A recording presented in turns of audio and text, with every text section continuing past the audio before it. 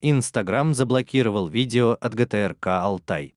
Стало известно, что в клипе, который подготовили к Дню народного единства, звучал гимн России, исполненный представителями сибирских регионов. Однако соцсеть посчитала его треком из немецкого сериала «Alles Возхлт» «Воскресенье», что имеет значение. Об этом в эксклюзивном комментарии сайту вести.ру рассказали представители ГТРК «Алтай».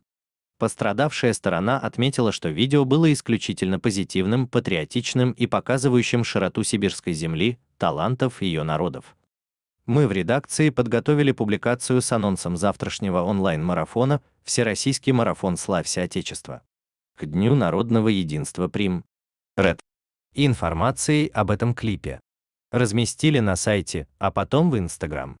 И через пару минут Инстаграм прислал сообщение, что наше видео заблокировано по не подающейся никакой логике причине.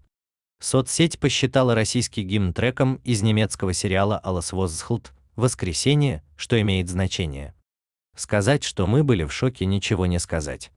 Пост с видео до сих пор можем видеть только мы на своей странице, но для нашей многотысячной аудитории подписчиков и для всего Инстаграма оно скрыто, отметили представители ГТРК «Алтай». В редакции заметили, что журналисты обратились в дирекцию ГТРК, а также начали искать информацию о похожих случаях.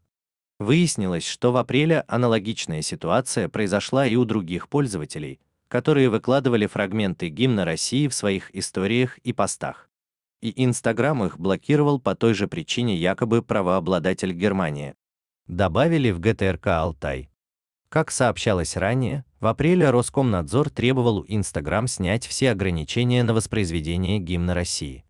Однако данные обращения с соцсетью были проигнорированы. Мы готовимся к тому, чтобы открыть спор с владельцем соцсети. Но переживаем, что это может стоить нам бана и блокировки всего контента, добавили в редакции.